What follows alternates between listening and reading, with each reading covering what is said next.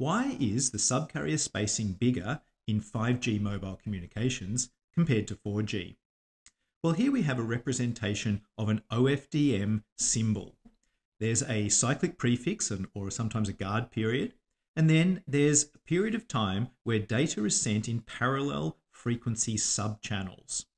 And that's sometimes called subcarriers. Now, let's try to understand this in terms of the spacing between those subcarriers. In each subcarrier, a symbol is sent for the entire period of this amount of time. So let's think of that subcarrier, just one subcarrier. So the symbol is sent for that entire amount of time. Let's call that capital T. That's this full amount of time. And then in the frequency domain, we can look at the Fourier transform, and that is a sinc function where this distance here, this frequency here, is that length of frequency is 1 divided by t. So the carrier spacing is 1 divided by t, where t is this spacing. Why is it the carrier spacing? Because in OFDM, you can put orthogonal carriers, and so the orthogonal carrier can be spaced exactly at this separation. So let's now think about what affects that amount of time. So one thing that affects it is Doppler. And in 5G, we're using higher frequency bands, including millimeter wave communications, and the Doppler is worse. So that is the reason for the subcarrier spacings being bigger. Let's try to understand that. Okay, so here's Doppler, and here's the formula for the maximum Doppler. It'll be either a positive or a negative shift depending on the path directions relative to the user. Uh, and the maximum shift is given by the carrier frequency FC times the ratio of the velocity of the moving vehicle divided by the speed of light. And so this C here is the speed of light. Uh, this C here is for the carrier. And for more videos on this, check out the description below this video. So the Doppler depends directly on the carrier frequency. So let's look at some examples. Let's say we were going uh, at a speed of 100 kilometers an hour on a highway, for example. Well, this corresponds to 27.8 meters per second. And let's look at the 4G system, where the carrier frequency is around about typically 2 gigahertz. So with these two numbers in this formula, it gives us a Doppler, maximum Doppler shift of 0.19 kilohertz. And in the 4G standard, the subchannels are 15 kilohertz apart. So this is the spacing of the sub carriers is 15 kilohertz. And so this Doppler shift corresponds to 1.2% of one of those subchannels. So what that means is if we look at this picture here, they're going these subchannels are going to be spread out by an extra 1.2% beyond the 1 divided by capital T.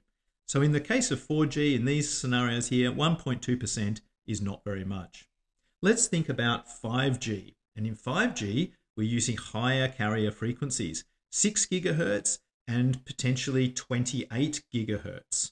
So let's look at in those two cases, just with these numbers, 6 gigahertz would give you 0.5 kilohertz of, um, of Doppler spread, uh, and 28 gigahertz would give you 2.6 kilohertz of Doppler spread. Well, this would be 17% of a 15 kilohertz subcarrier spacing. So if we kept the same subcarrier spacing as in 4G, then if we tried to use that at 28 gigahertz, we'd have 17% of Doppler spread. So the width of this uh, of an individual subcarrier will be spread out by an extra almost 20%.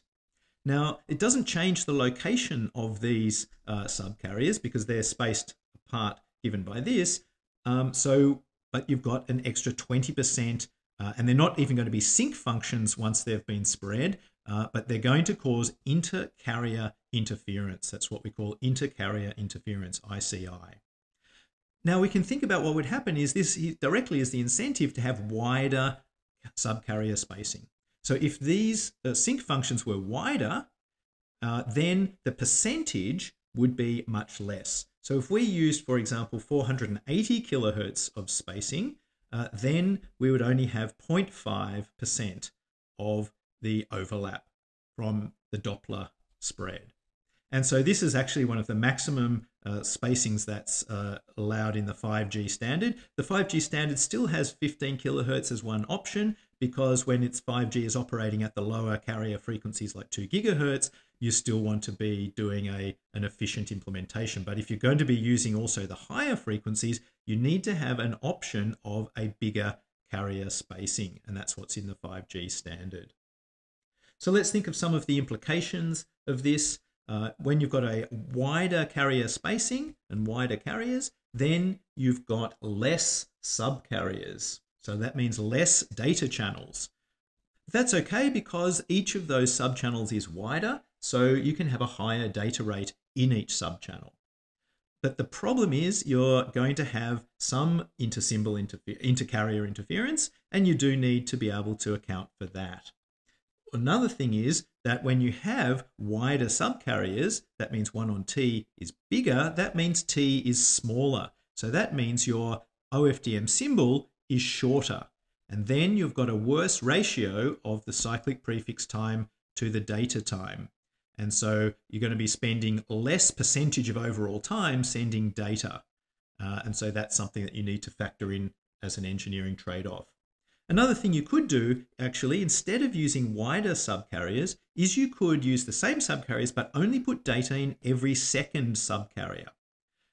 The problem with that, of course, would be that you're going to be only able to send at half the data rate. Another thing you could do is you could put them in every second subcarrier and actually make the subcarrier spacing smaller.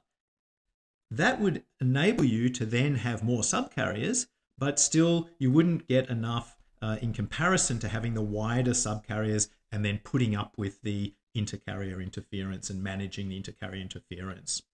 Uh, another problem with having uh, narrower subchannels and only putting data every second one is that you, because they're narrower, you would have more samples in your symbol, and that means you would need a larger fast Fourier transform to do the implementation of the OFDM. And that means more computation power and it means a shorter battery life for your device. And one final thing to say is also with 5G, there is uh, plans for having 5G delivered over low Earth orbit satellite services. And in that case, the velocity would be increasing quite significantly because those satellites are traveling very quickly, which means that the Doppler spread is going to be even bigger. And that's another incentive for having such wide subcarriers. So if this video has helped you, uh, give it a thumbs up. It helps others to find the video. Uh, subscribe to the channel for more videos and check out the webpage in the description below where there's a full categorized listing of all the videos on the channel.